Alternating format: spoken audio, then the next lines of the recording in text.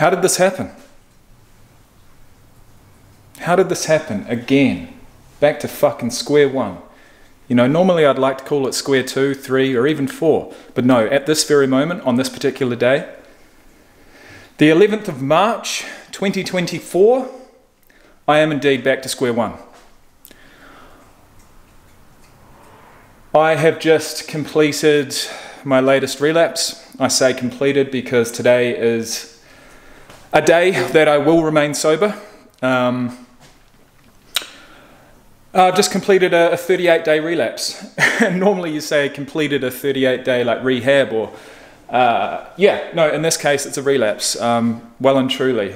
Uh, it wasn't a lapse. A lapse is maybe a week tops, a couple of days would be good, but it began as a lapse and what I thought would be a lapse or an experiment, and unfortunately, that experiment landed me in the grips of alcohol addiction once again. So I am pretty confused at this point. I'm confused as to how the fuck I let that happen after being on such a good trajectory throughout the month of January, which you're still yet to see on this channel.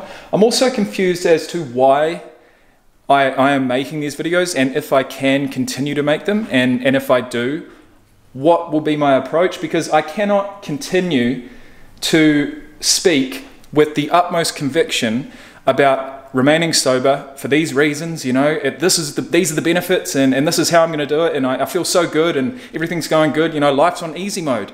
Fuck there's a video not too long ago a couple months ago where I, I literally said life was on easy mode and it was but you know there have been stresses of life that have come up since then and i just have not had the tools to cope with them without bringing alcohol back in. Now alcohol, it puts me in a certain mood where I can just brush away anything negative and just focus on the present. That's what it does for me. It allows me to be in the present moment and not worry about, you know, mistakes I've made in the past and and things I've got to worry about in the future, which is depression, which is the past, and anxiety, which is the future. So I'm confused about as um, you know whether I do want to continue this channel or whether I can, whether I can actually you know remain credible in this space which is something I, I do want, something I thought I wanted. You know, I, I started this channel a year, a, a, year and two months ago now, and at that point I was totally desperate. Um, it wasn't a 38 day relapse, it was a fucking year at that point. You know, I'd, I'd given it my best shot to remain sober, um, but I just couldn't do it myself, and I didn't have anyone to talk to about it, so I began making these videos. And forgive me, I am sweating. It is extremely hot in this house. Okay, so I've got to go and pick up my, my youngest daughter from school. Um, for those wondering if I did indeed go to Thailand, I don't want to spoil, you know, and I, well, you know, I'm literally, I'm, I'm two months behind as far as chronologically from today's date with the videos I'm, I'm publishing at the moment. That pisses me off, but that's just the way that it ended up happening. And so I did talk about going to Thailand for particular reasons.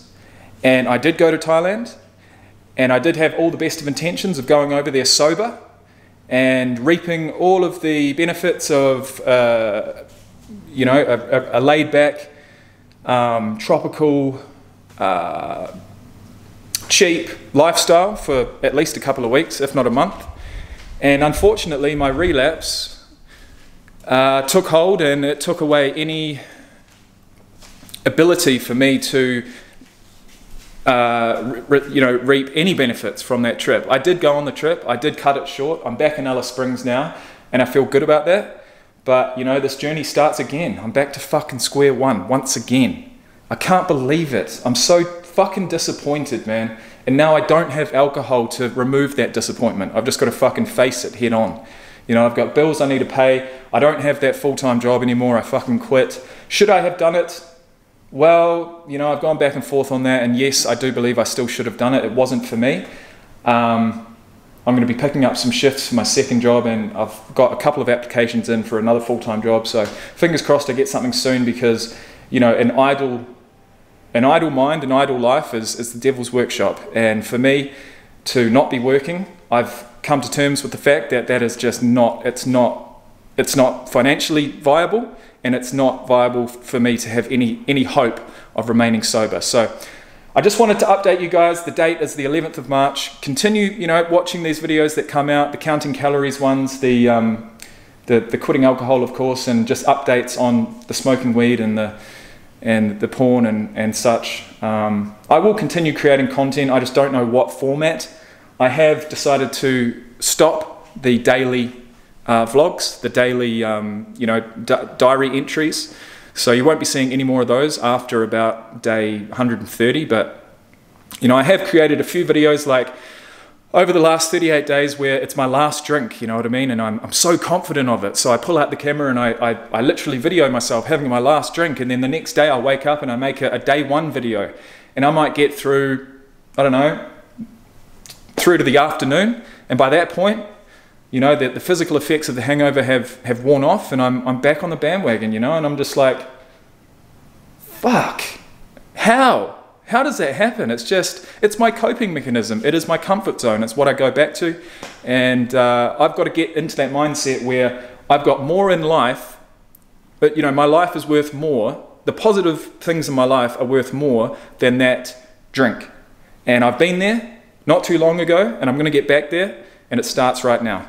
So thank you for watching. As always, I've got to pick up my daughter now, which I can't wait for. It's going to be great. Although my anxiety says otherwise, but you've just got to grin and bear it and it is what it is. So that's where I'm at, guys, and I'll see you when I see you. Thank you for the support, man. But like I said, I don't know if I can continue making these videos. I don't know if I want to continue making these videos, but I had to make this one. Cheers.